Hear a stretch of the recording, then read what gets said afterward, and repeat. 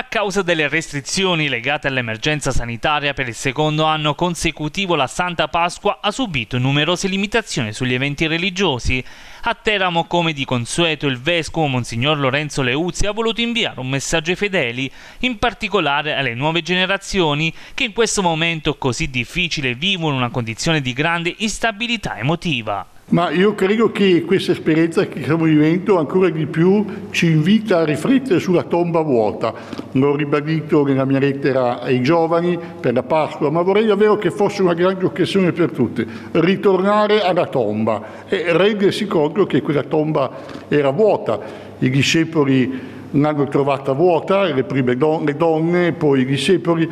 e noi vogliamo davvero ritornare alla tomba vuota perché l'esperienza della risurrezione di Cristo è davvero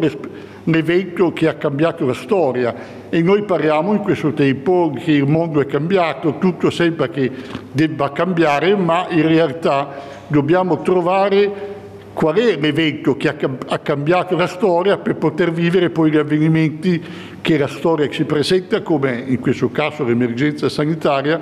e capire come affrontare questa difficoltà. Molte volte si può, ci si limita soltanto a riflettere sul cambiamento per il cambiamento. Oggi nella società moderna queste prospettive hanno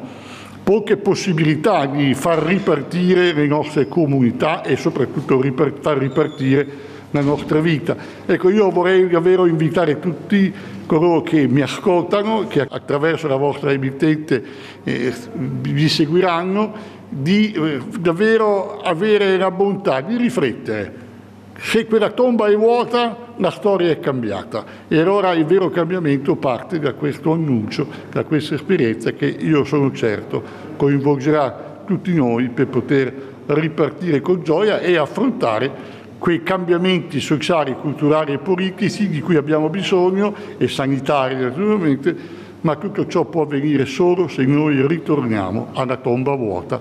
e godere che il Signore, il crocifisso, non è più nel sepolcro, ma è presente in mezzo a noi.